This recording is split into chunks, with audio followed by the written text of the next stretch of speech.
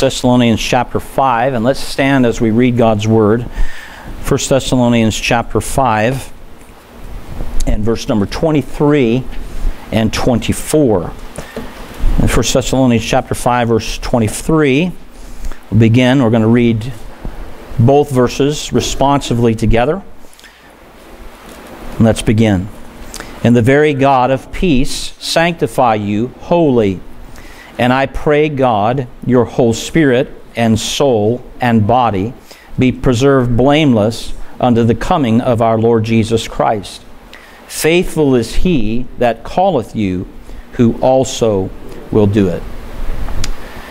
Our Heavenly Father, we ask your blessing upon the reading of your word. We thank you for the opportunity we've had to read it. We pray your blessing upon the preaching of it.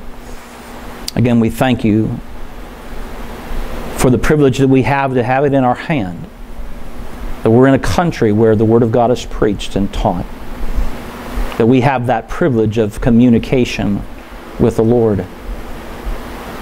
We're not in an uncivilized area where the Word of God is, is not published. And nor are we in a country where there isn't a written Word. But we have the privilege of having a book that we call the Word of God, the Bible, in our hand that we can bring to church every day or every Sunday and that we can have every day in our house and that can speak to us and breathe the words into our hearts and into our souls and into our lives. We pray your blessing upon the reading of it and in just a bit preaching of it we pray. In Jesus' name. Amen. Amen. You may be seated. I've been, I, I started a series last Sunday on faithful stewardship. The series began with the requirement of steward. The man be found faithful. Being found faithful means that we are faithful. That God is, it's part of our DNA, part of our character, that we are faithful people. We cannot be faithful to God until we first know God as our personal Savior. And so this morning, I'm going to start with the first stewardship, and that is the stewardship of our being. The stewardship of our being. And what we're going to do is we're going to go all the way back to the beginning of how we were made. And I'd like you to go to Genesis chapter 1 the book of Genesis and chapter 1, and we're going to look in verse number 26.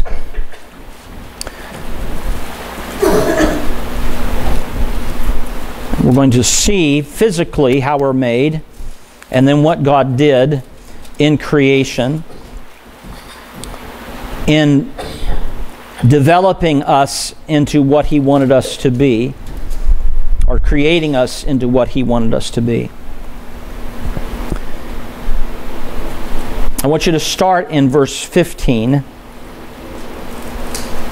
of chapter 1. Actually, no, I'm sorry, I'm in chapter 2. That's why I'm not fine. It, go to verse 27 of Genesis chapter 1.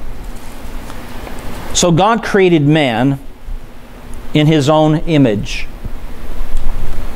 Man did not evolve as modern science, if you want to call it that, has taught today. Uh, it, is no, it is neither science nor a good theory. The theory of evolution has continued to be taught as a theory. Man was created, and he was created differently than all living things plants, amoebas, animals, monkeys specifically, because you know that was the big one, because you know that's that's a progression. It's interesting, uh, I've said this before, it's interesting that it, that is still taught in the public schools. You have the pictures of all of those, the, the Piltdown man and the Java man and uh, all the different Homo sapien things that have been found, supposedly found. And every one of them were a hoax. Every one of them were proven to be a hoax but they're still in our textbooks. Just like Dinosaurs that they've created are still in our textbooks that are billions and billions and billions of years old, like they were back there to record it. Why people can't just believe what God tells us. I made man. I made him in my image. Verse 27 says So God created man in his own image, in the image of God created he him, male and female created he them. And God blessed them, and God said unto them, Be fruitful and multiply, and replenish the earth and subdue it, and have dominion over the fish of the sea, and over the fowl of the air, and over every living thing that moveth upon the earth. Go from there to chapter 2 and go to verse 23. Actually, verse um, 20, 20 of Genesis 2. And Adam gave names to all cattle, and to the fowl of the air, and to every beast of the field. But for Adam, there was not found an help meet for him. Uh, we didn't need Darwin to do that because Adam beat him to the punch. He was the very first man, and he did it from the very beginning, and he called them all by their names. So there were, they were already classified before Darwin. So, so if you will, Darwin plagiarized, or actually he broke copyright laws because their names were already given and he changed the names. Verse 21. It says in verse 20 that there was not a help found, a meet for him, meaning there wasn't an animal designed specifically for Adam, and so, or a being designed specifically for Adam because he was not an animal. Verse 21, it says, Then the Lord God caused a deep sleep to fall upon Adam, and he slept, and he took one of his ribs. God took one of his ribs, and closed up the flesh instead thereof, and the rib which the Lord God had taken from man made he a woman, and brought her unto the man. And Adam said, This is now bone of my bones, and flesh of my flesh. She shall be called woman because she was taken out of man. So God first made man from the dust of the ground and then he made Eve from a bone out of the man. And then in chapter 3, we have them in a perfect relationship and a perfect utopia with God. Physically, emotionally, mentally, spiritually. And then something happens. Adam and Eve were made very good, the Bible says. They were perfect, they were sinless. God had told them there was one, one thing they were not to do. That was to eat of the tree of the knowledge of good and evil. And Satan had fallen at this time and was in the serpent, which is a beautiful creature, a beautiful being the Bible says it was more subtle in verse 1 of chapter 3 of Genesis, more subtle than any beast of the field which the Lord had made. And he said unto the woman, Yea, hath God said, Ye shall not eat of every tree of the garden. So he begins to question and cast doubt in Eve's mind about this decision to eat it or not to eat it. And this choice was a choice. So the woman said unto the serpent, We may eat of the fruit of the trees of the garden, but of the fruit of the tree which is in the midst of the garden, God has said, Ye shall not eat of it, neither shall ye touch it, lest ye die. And the serpent said unto the woman, Ye shall not surely die. For God doth know that in the day ye eat thereof, then your eyes shall be open and ye shall be as gods, knowing good and evil. Now leave your finger there. We're going to come back to it. And I want you to go to back to chapter 1. And I want you to hear what, what God actually said to the man and the woman, beginning in verse 29. God said, Behold, I have given you every herb bearing seed which is upon the face of all the earth, and every tree in the which is the fruit of a, of a tree yielding to you it shall be for meat. And to every beast of the earth, and to every fowl of the air, and to every creeping thing upon the earth wherein there is life, I have given every herb for meat, and it was so. Uh, go back a little farther and look in verse. Actually, chapter 2. Verse 7 says, The Lord God formed man of the dust of the, of the ground and breathed into his nostrils the breath of life, and man became what? A living soul. So, first he made his body, and there was no life in it. And he formed it of the dust, basically dirt. Um, scientists have said if you add up all of the actual worth of the chemicals, we're, we're not worth a whole lot. And when we die, we go to the dust. Our body just decays. Verse 8 And the Lord God planted a garden eastward in Eden, and there he put the man whom he had formed. That included woman, man and woman. And out of the ground made the Lord God to grow every tree that is pleasant to the sight and good for food, the tree of life also in the midst of the garden, and the tree of knowledge of good and evil. And a river went out of Eden to water the garden, and from thence it was parted and became into four heads. The name of the first is Pison. So it goes on and lists the rivers. Now, verse 15. And the Lord God took the man and put him in the, into the, the Garden of Eden to dress it and to keep it. Once, he be, once life was breathed into him, he became a living soul. God put him in that garden with his wife. And this is where they lived. It was this perfect utopia. It couldn't have been more beautiful. It couldn't have been, could, couldn't have been more self sufficient. And it was just a wonder. Verse 15. And the Lord God took the man and put him into the Garden of Eden to dress it and keep it, and to keep it. And the Lord God commanded the man, saying, Of every tree of the garden thou mayest freely eat, but of the tree of the knowledge of good and evil thou shalt not eat of it. For in the day that thou eatest thereof, thou shalt surely die. And the Lord God said, It is not good that a man that the man should be alone. I will make an help meet for him. And out of the garden the Lord God formed every beast of the field and so forth. And we read that what happened. He made a woman. And Adam told his wife, we know by chapter 3, what God had said. So, life is good.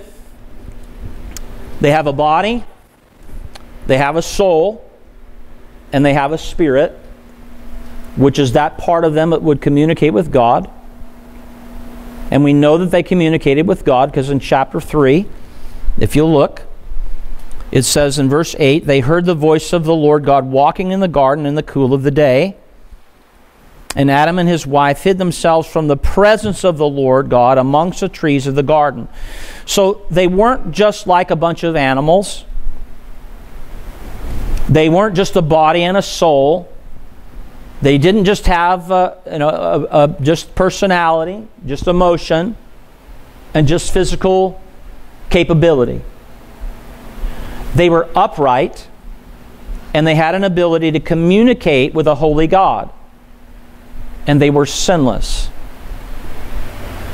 They had not, at this point, done anything to disobey God. Sin is a transgression of the law. Sin is doing what God tells you not to do.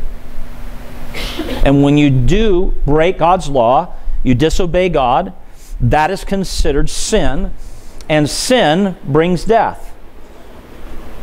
So the serpent comes to Adam, uh, to Eve, and he says to her, "You won't die." Now Adam told her, "You you will die." This is what God says: "You won't die." And the serpent said unto the woman, Ye shall not surely die, for God doth know that in the day ye eat thereof, that your eyes shall be opened, and ye shall be as gods, knowing good and evil. So basically, you'll be God, and you'll dictate yourself what is good and what is evil. That's exactly where we are today. When the woman saw that the tree was good for food, and that it was pleasant to the eyes, and a tree to be desired to make one wise, this is the lie that she was told by the serpent. She took of the fruit thereof and did eat, and gave also unto her husband with her, and he did eat. And the eyes of them both were open, and they knew that they were naked, and they sewed fig leaves together and made themselves aprons. And they heard the voice of God walking in the garden. Of course, they hid. And the Lord God called unto Adam and said unto him, Where art thou? And he said, I heard thy voice in the garden, and I was afraid, because I was naked and I hid myself.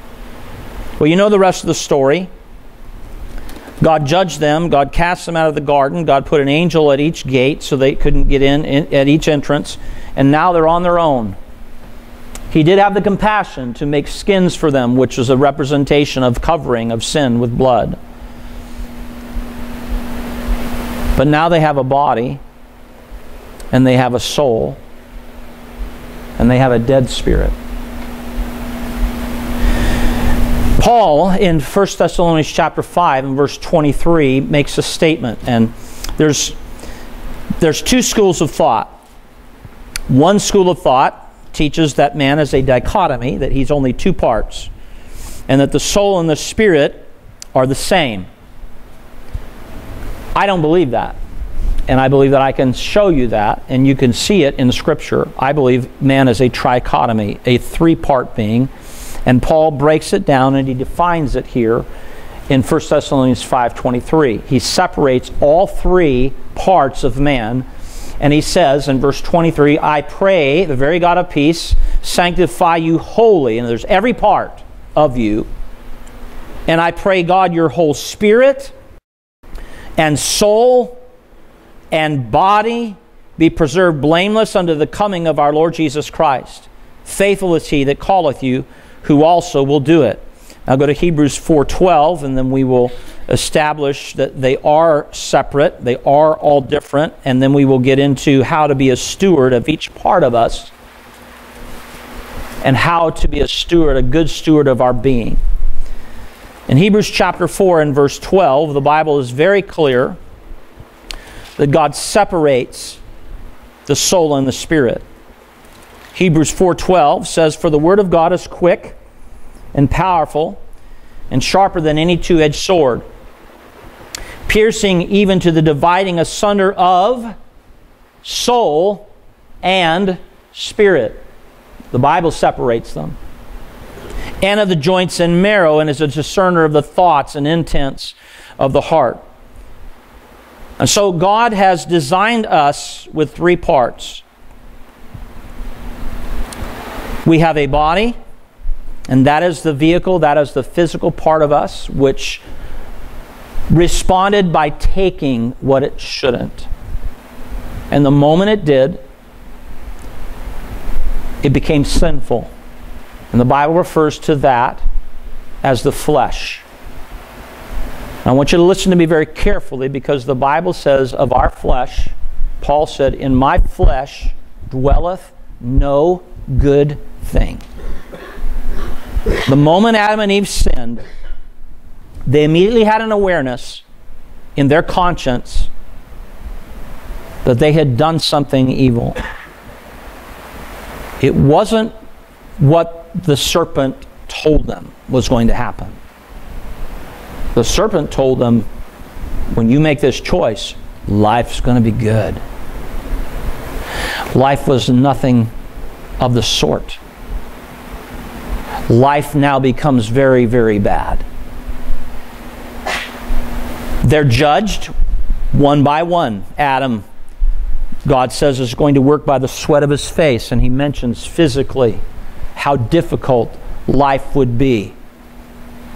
The sweat of his face is that's that's hard labor. See, God, God watered the ground, and all Adam had to do was dress and keep it. Now he has to plant the crops, he has to water the crops, he has to, he has to weed the crops. And, and I was raised on a farm, and believe me, it's not easy work. My dad is here, and I remember as, as a five year old boy irrigating with him two, three o'clock in the morning, early morning. You did it early.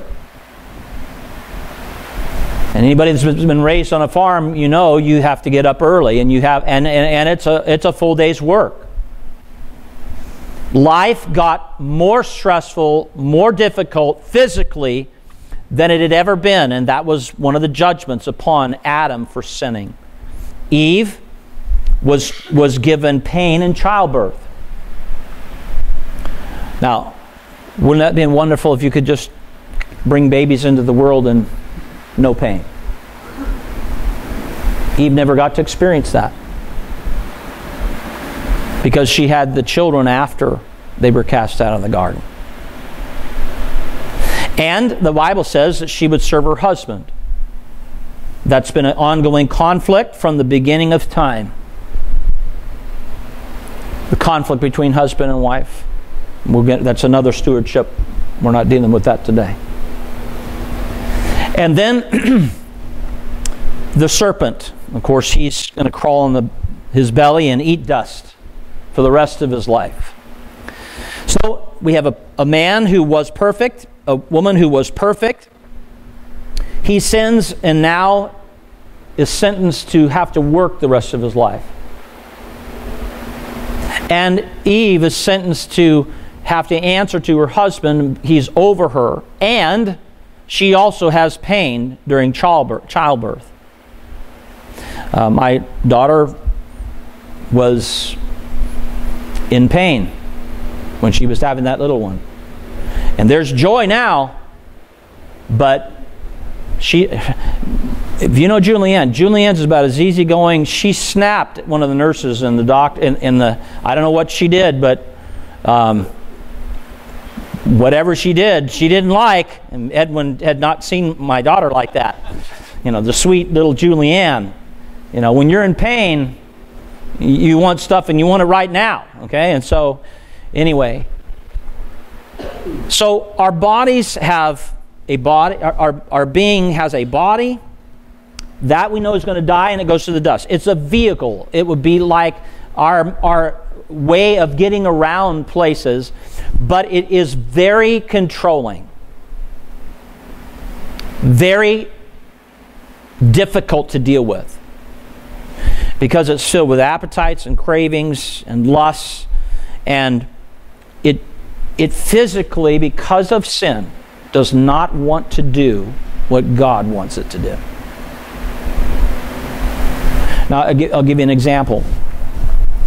Those of you who pray and those of you who read your Bible, you, you, have probably experienced this.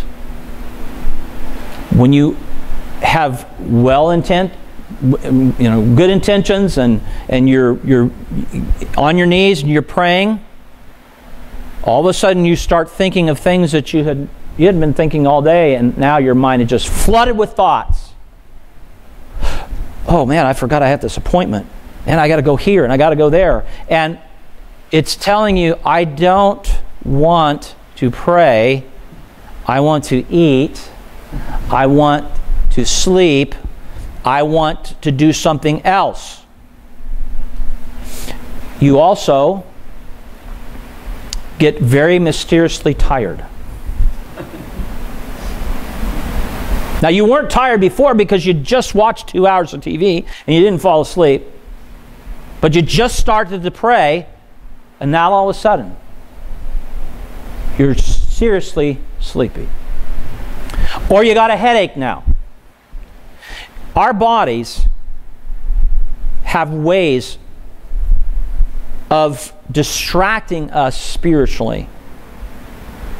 And we just kind of pass it off as, well, but there's something wrong with you. You know, it has nothing to do with any, you, it, it, you having anything wrong with you.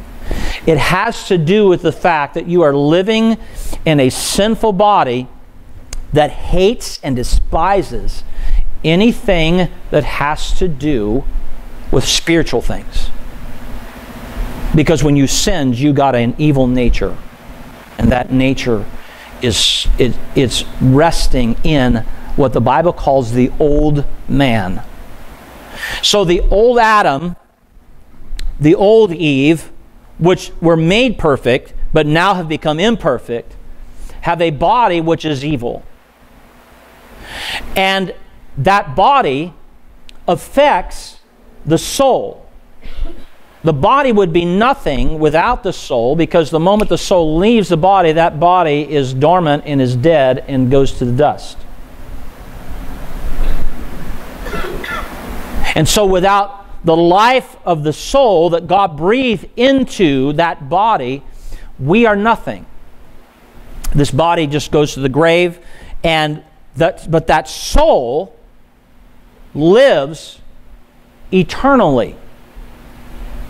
It is an eternal part of us. It is not the spirit, it is separate.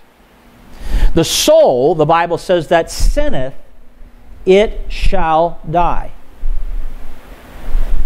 We know the body is going to die. It's appointed that a man wants to die, and after this, a judgment. The Bible talks about the body being that it's going to die, it's going to corrupt, and it's going to go to the grave. But the soul that sins, it will die, and it will spend eternity in one of two places. The Bible is very clear. It either will spend eternity in hell, or it will spend eternity in heaven with the Lord. And so it's very important that we understand our body and we understand the propensity that we have for it and recognize it when it raises its ugly head in our life. But it also is important for us to understand the soul. The soul is our mind and our will and our emotions. It is that part of us which is our personality, the individual uniqueness Yes, our bodies are all unique. There's not one body made the same, and that's how people identify us and look at us and see us. But our soul is very unique, and that soul has within it what is called a will. I will do what my body tells me, or I won't. I will do what my spirit is telling me, or I won't. The spirit became dysfunctional when Adam and Eve sinned. They, they needed redemption. They needed a change. The Bible says in 2 Corinthians 5:17, therefore if any man be in Christ, he is a new creature.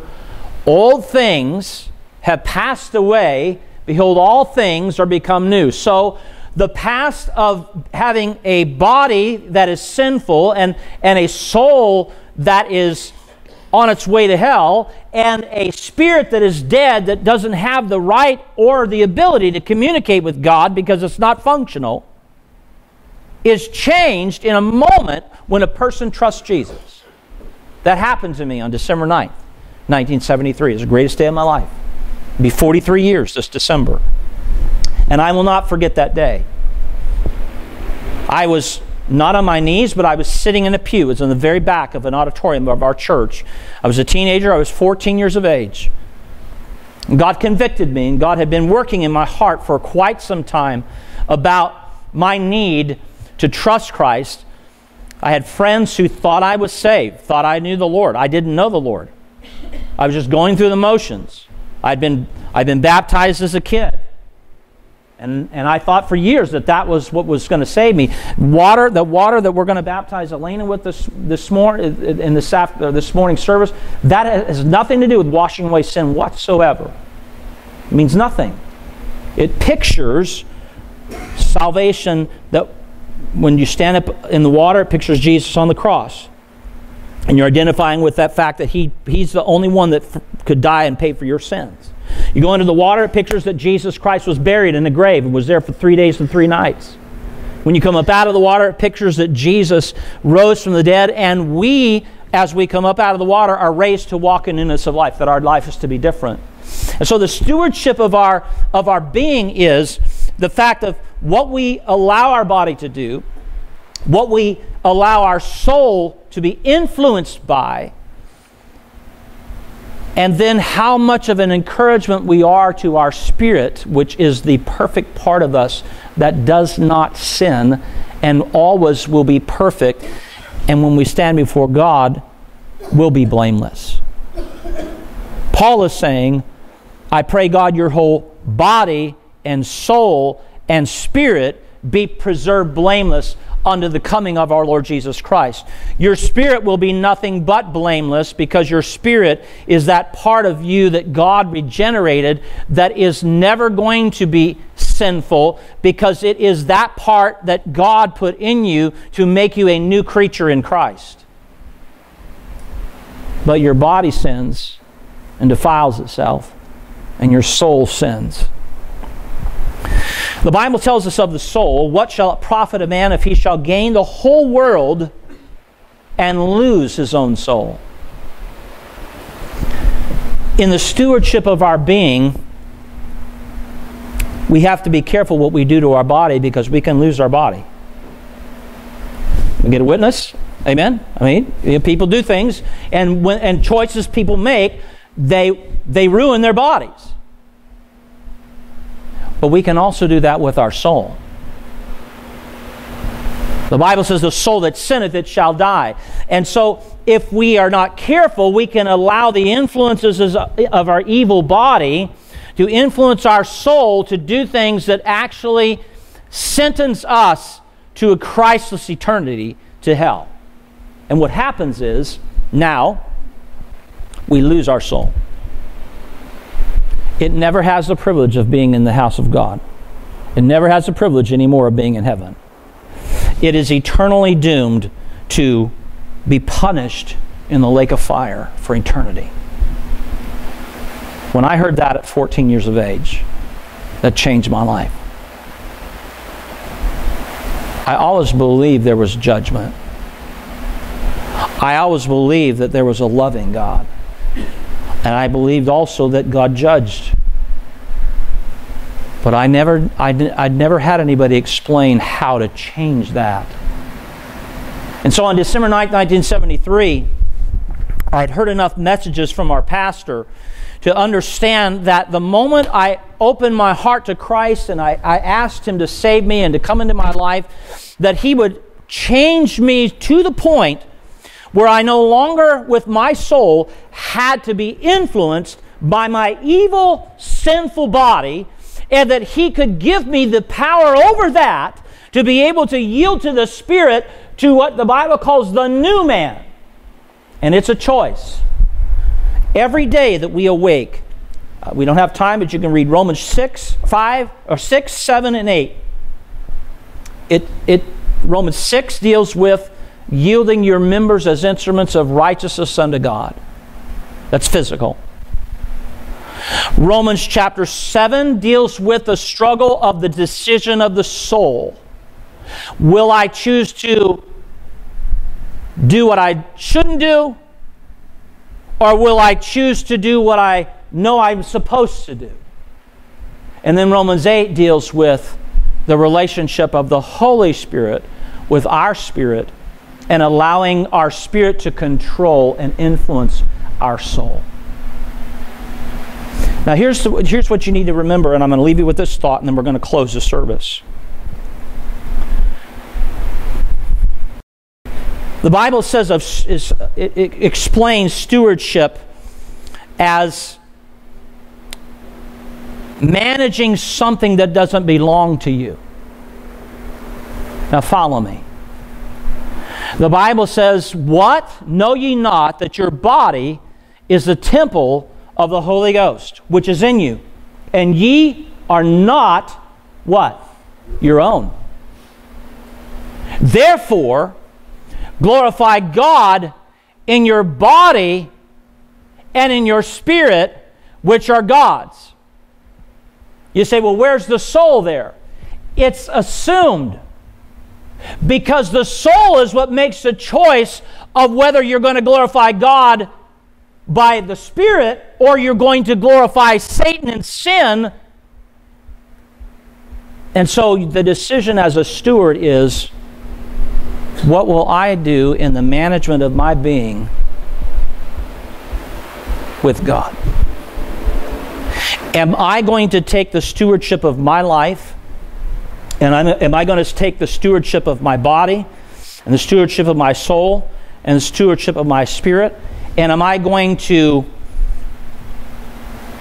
just succumb to just que sera, sera, whatever will be, will be. Just let my, just live my life with no regard for a decision, with no regard for accountability, with no regard to anything in relation to spiritual matters. Or am I going to manage my life and be a steward of my life and allow God to work in me in a spiritual way and have a relationship with the Holy Spirit that actually literally controls me and manages where I go and what I do and what I say, and I glorify God in everything that I do. That's stewardship. That's why Paul says, I pray God that your whole body and soul and spirit be preserved blameless unto the coming of our Lord Jesus Christ. And then the Bible says, Faithful is He, God, who also will do it. You see, most of us would sit here and would say, Pastor, that's impossible. I've tried. We really haven't.